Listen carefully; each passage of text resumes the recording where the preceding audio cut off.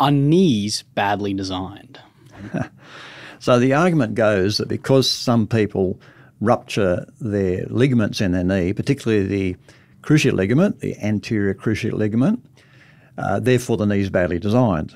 And if you follow a football team, you probably have a favourite footballer who's ruptured his ACL mm. and been out of action for six months. And, well, the knee must be badly designed. This is the argument. But again, when you look at the human knee, it's actually quite unique.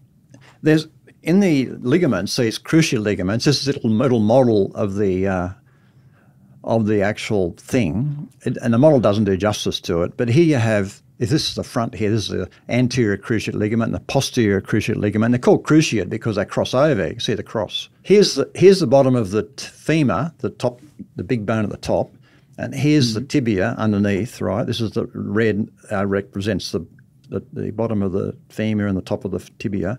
And the cruciate ligaments cross over in the middle of the knee. And they allow this amazing movement of the knee. So you can bend your leg and back to, well, that's at 90 degrees. Actually, you can go all the way back because it rotates on the surfaces and you can go back almost 180 degrees movement on your leg from standing upright to pulling your foot up behind your backside. Mm. So, so the ligaments allow that to happen.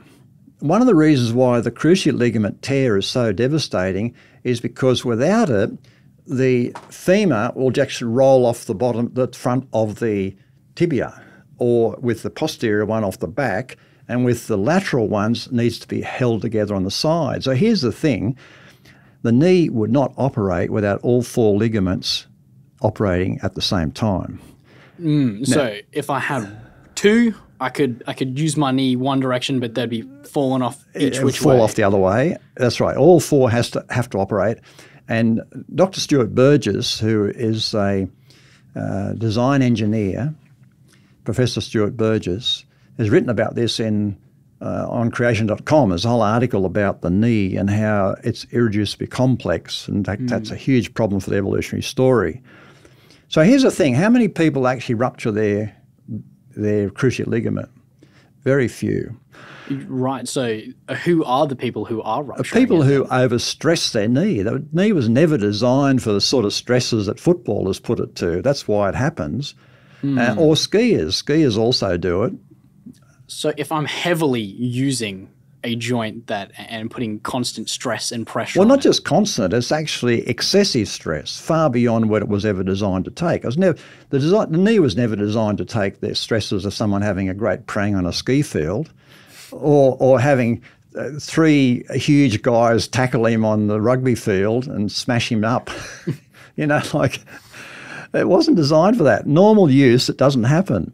So uh, it, there's nothing wrong with the design of the knee, and the design of the knee is such that it could never evolve because you could never get those four ligaments all at the same time, which hold it all together and stabilize the knee. It's an amazing design.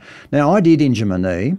I was actually over 70 when I did it. I never injured my knee in my life, but I injured it how? Skiing. excessive force. Excessive force. Thankfully, it wasn't the cruciate ligament, otherwise, I would have been out of action. It was just a, a, a tear of the medial cruciate ligament, not cruciate, the medial lateral ligament, the one on the side, which is not quite as important as the cruciate ligaments. But I was out of action for for uh, probably a couple of months uh, while this thing healed. And he, here's the thing too: it does heal. Mm. Um, and so we are designed and created uh, that if we do get some minor damage, it heals itself. Uh, where the footballers come unstuck is is they do come unstuck. The actual the actual ligament separates from the bone, and then it doesn't heal. That's really catastrophic, and that's why they take so long to get well. But there's nothing wrong with the design of the knee. And it's a huge problem for the evolutionary story to explain the origin of such a, a, knee as a human has with all these ligaments that hold it all together, and, and it's just amazing. Mm, so, the idea of this being a, a suboptimal design is, is quite fallacious, actually. It's actually very well designed. It's just when we put it under excessive force that you know this great design actually can come apart. Yeah, well, it's like saying you know if an engineer builds a bridge and it's built to take 500 cars, right? Right and they put 3,000 cars on the bridge and the bridge collapses, and you say the bridge was badly designed. It's that sort of argument. Hmm. It doesn't make any sense.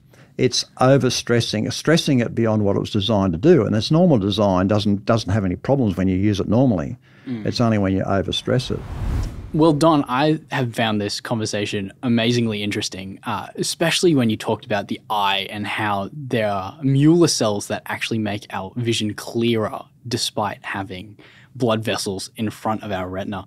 Uh, I think that really just highlights how there there has to sort of be some kind of divine creator out there coming up with these really brilliant ideas that even stump us uh, until we look a little deeper.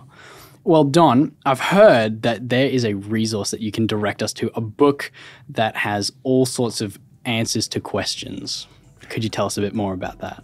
Yes, here's the book by design. It's a fantastic book, fresh, new.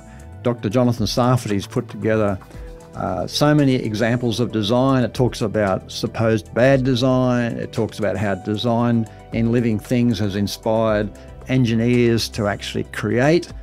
And uh, the book is just chock a block full of interesting items like that about God's designs in today's world that we can see. Highly recommended. You can get that from creation.com store worldwide. Well, Don, thank you for all your insight and all your time tonight. You're welcome, James. It's been a great conversation.